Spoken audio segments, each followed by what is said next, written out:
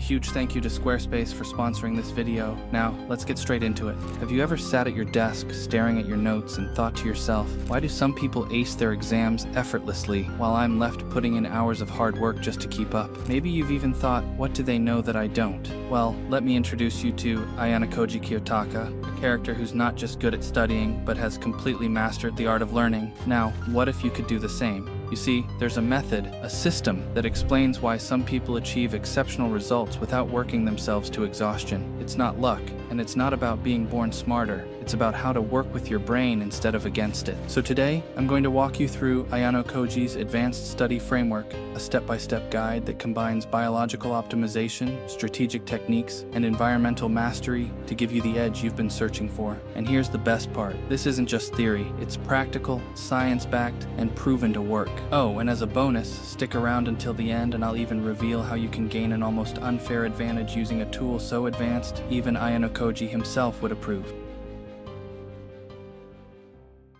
The first thing we're going to talk about is your environment. Why? Because no matter how strong your willpower or how advanced your study techniques are, your environment will always have the final say in how focused and productive you can be. Just think about the White Room. Everything there was designed to eliminate distractions and amplify focus, and for you to do the same, we're going to have to start with something unexpected lighting. Have you ever considered how much the lighting in your room affects your focus? It might seem trivial, but it's one of the most underrated tools for transforming your workspace into a productivity powerhouse. In Ayanokoji's training environment, the bright, intentional lighting wasn't just there for aesthetics. It actually triggers the release of dopamine, norepinephrine, and just the right amount of cortisol, which puts the brain in a state of sharp focus and alertness. Now imagine if you could replicate this in your own space. For that, you first have to always keep your overhead lights on when you work. This is scientifically proven to activate specific cells in your eyes called melanopsin ganglion cells. These cells communicate directly with your hypothalamus, the part of your brain responsible for making you feel awake and focused. But that is not all. If you're working on a screen, turn the brightness all the way up, and if you really want to invest in your focus, consider getting a bright LED or ring light. The blue light they emit is perfect for stimulating those focus enhancing cells. But here's the thing, even the best artificial light can't compete with the power of natural sunlight, so if you have a window near your desk, position your workspace to face it. Better yet, open the window. Why? Because looking at sunlight through glass is 50 times less effective at boosting alertness. The glass filters out critical wavelengths of blue light that your brain needs to wake up. Of course, bright light isn't always beneficial. Before bed, keep your room dim to avoid disrupting your sleep cycle. Now let's talk about something you probably haven't considered, where you're looking. Your focus improves when you're looking at something slightly above eye level. That's because the neurons controlling eye movement are linked to areas of your brainstem that control alertness. So, to leverage this, elevate your screen or book by a few inches so you're naturally gazing upward. Also, sit up straight.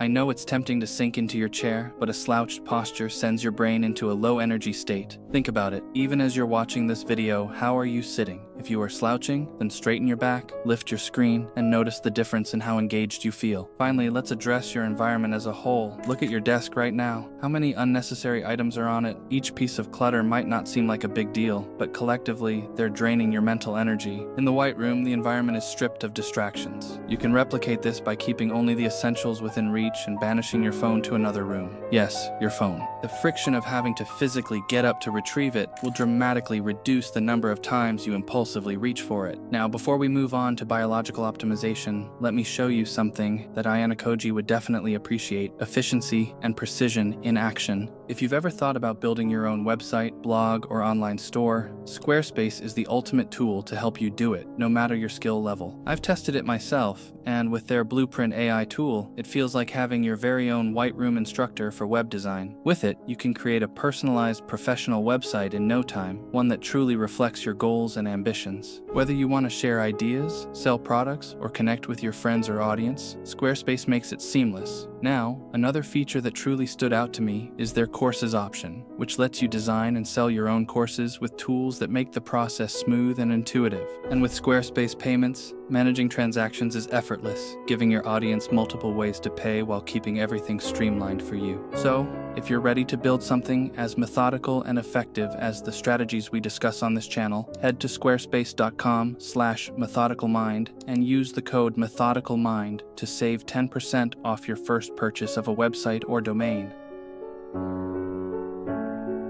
Imagine flipping a switch in your brain, making it more flexible, alert, and ready to absorb knowledge. That's the power of neuroplasticity, the brain's ability to adapt and grow. But here's the important part neuroplasticity doesn't just happen. Your brain needs to be in the right state, alert, yet focused. So let me show you a quick, science backed breathing technique to kickstart neuroplasticity. Take 25 to 30 deep breaths by inhaling through your nose and exhaling through your mouth. On the last breath, exhale fully and hold for 15 to 60 seconds. Then take a single deep inhalation and hold again for a moment. When doing this, you effectively flood your system with epinephrine, the chemical that jumpstarts your brain's adaptability. And by the way, don't just hear about this. Try it right now and feel the difference for yourself. Now that your brain is primed, let's talk about focus. You already know focus is crucial for studying, but have you ever tried sharpening it in just 30 seconds? Here's how. Pick a single point in your room and stare at it for 30 to 60 seconds. Blink naturally, but let your gaze stay fixed. This exercise aligns your cognitive processes by limiting distractions and narrowing your mental bandwidth, so you can think of it as a kind of warm up for your brain. But here's the thing about focus it's not just about going full speed ahead. Sometimes the best way to learn is to do nothing. That's where the gap effect comes in. When you take short 10 second breaks during study sessions, your brain doesn't stop. It replays the information you just learned at 10 times the speed, which solidifies those neural connections. On top of that, these micropauses also help your brain make new connections and spot solutions you might have missed. So, next time you're studying, remember that a little nothing can go a long way. Now, let's talk about something that happens after you finish studying, but has a massive impact on what you retain adrenaline spikes. Right after learning, introduce a controlled stressor to signal to your brain that the information is important. For example, you could drink a cup of coffee or take a quick cold shower. That jolt of adrenaline they both release acts like a highlighter for your brain, which marks the newly learned material as essential. Finally, let's seal it all in with non sleep deep rest, or NSDR, a method designed to supercharge your memory and replenish your focus. During NSDR, your brain shifts into a state of deep recovery, which consolidates what you've learned and prepares you for the next round. You can try things like guided meditation, deep breathing, or progressive muscle relaxation, and there are a lot of free protocols on YouTube, so there really is nothing stopping you from starting today. Now, before we move on to the most exciting part of this framework, keep this in mind. If you're serious about mastering biological optimization, don't just watch this section once. Rewind it, take notes, and put these steps into practice. The difference you'll feel is undeniable.